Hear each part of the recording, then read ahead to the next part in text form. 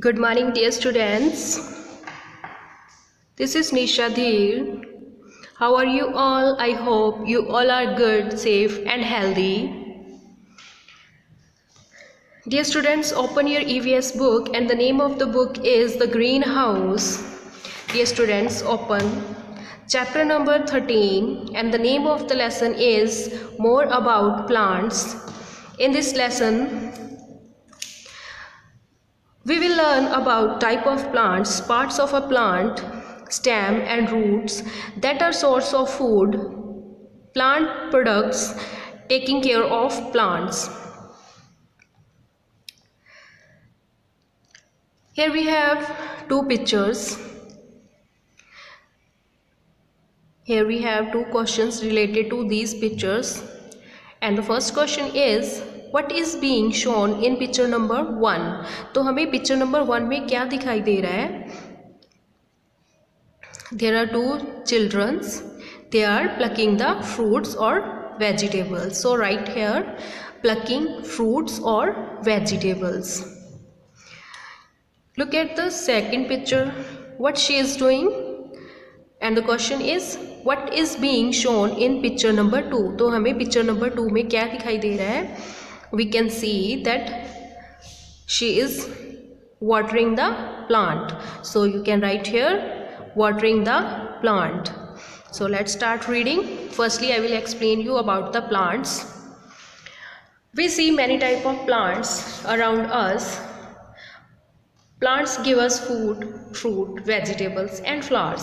Plants make the surrounding look beautiful. Plants give us many useful things beside food plants store food in their different parts that we eat.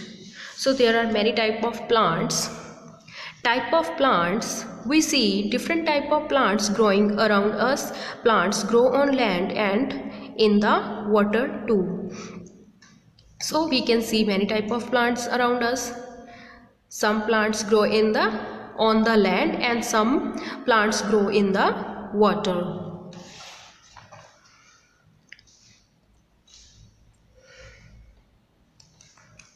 so different different plants that grow on land.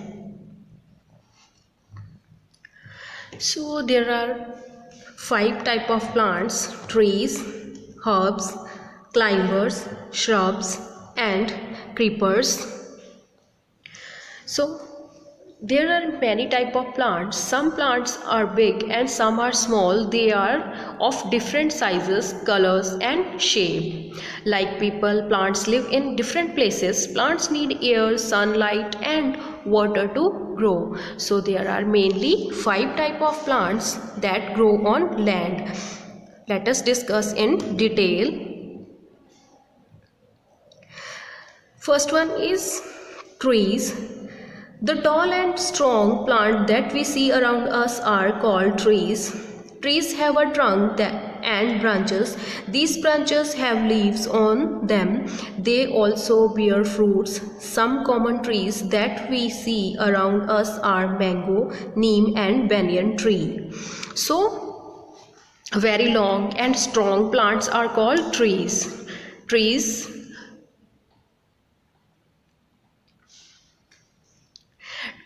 A tree has thin brown and woody stem called trunk. Trees have many shapes. Trees have many branches.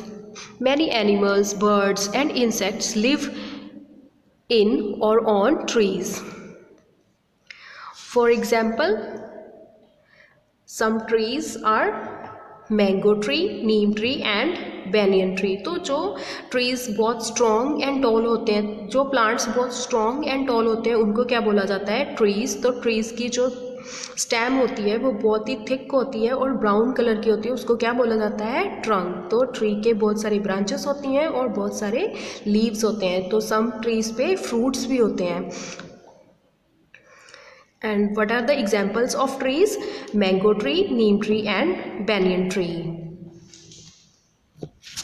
Next one is herbs. Some small plants have green and soft stems. These are called herbs. So, Common herbs are spinach, mint, and coriander. So herbs are very small plants. They have soft green stem. Most common herbs live on live for few days. Some herbs are also used as medicines. For example, mint and tulsi. Few other examples of herbs are spinach, mint and coriander. तो herbs क्या होती हैं बहुत ही small plants होते हैं और ये ग्रीन कलर के होते हैं और इनकी स्टेम जो होती है बहुत ही सॉफ्ट होती है तो इनके एग्जांपल्स कौन सी है spinach mint and coriander next one is climbers Some plants have very weak stem and need support. Such plants are called climbers. Some common climbers are grapevine, pea plant and money plant. plants with thin woody stem that grow near the ground are called shrubs. Some common shrubs are rose, hibiscus and cotton. तो shrubs जो होती हैं बहुत ही thin होती हैं और ये ground के नियर ग्रो करती हैं Next one is creepers. Some plants grow on ground. They go, they go around another plant or grow up a wall because of their weak stem. These plants are called creepers. Some common creepers are pumpkin and watermelon. So creepers क्या होते हैं? Creepers some plants are grown on the ground these are called creepers तो जो ground में, बिल्कुल ground पे grow करते हैं प्लांट्स उनको क्या बोला जाता है? Creepers and examples of creepers are pumpkin and watermelon so, these are the plants that grow on land.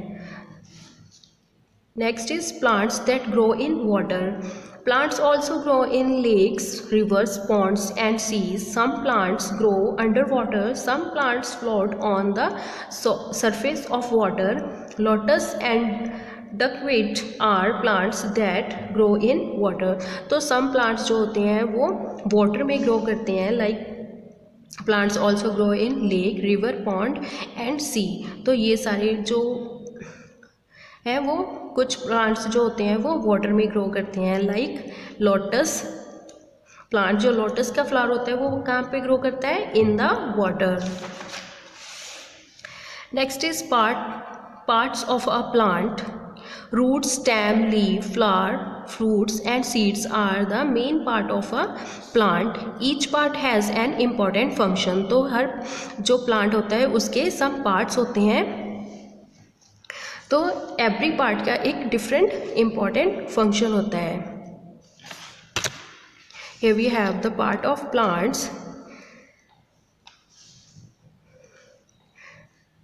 these are the leaves of the plant fruit of the plant roots this is called stem and this is called the flower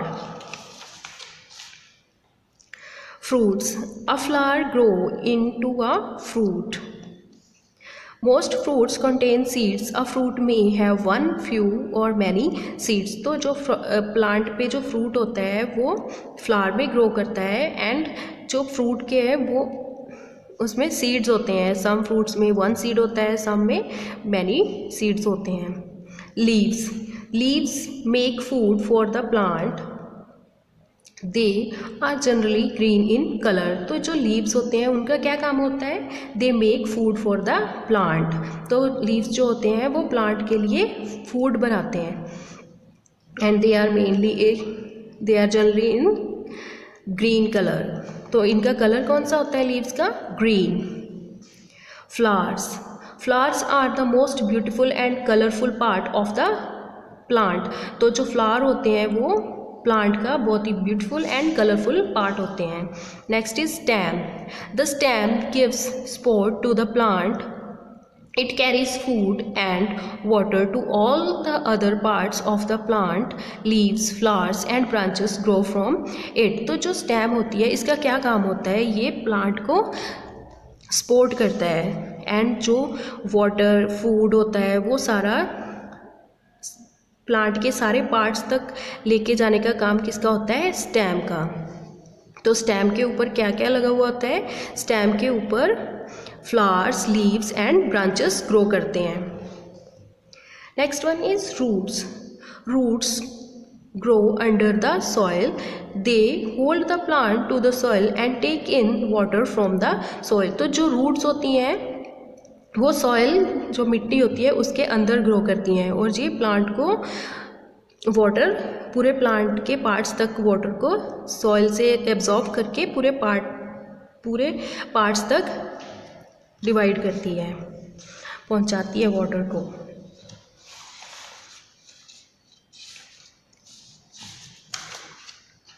That's all about today's lecture. Now we will discuss the written assignment. Here we have the part of plants. I already explained you about the part of the plant. So these are the leaf fruit roots stem and flower. Now next one is fill ups and the first one is flowers are dash and dash part of a plant. So you can write here beautiful and colorful so flowers are beautiful and colorful part of the plant next one is leaves make dash for the plant तो leaves का क्या work है लीव्स क्या करते हैं plant के लिए फ़ूड बनाते हैं तो you can write here food may leaves make food for the plant next is most fruits contain dash most fruits contain seeds next is the dash gives support to the plant. And the answer is stem. The stem gives support to the plant. Next is roots. Dash hold the plant to the soil and take in dash from the soil. And the answers are roots and water. Roots hold the plant to the soil and take it take in water from the soil. So you you will do this work on your fair notebook. Thank you. Have a nice day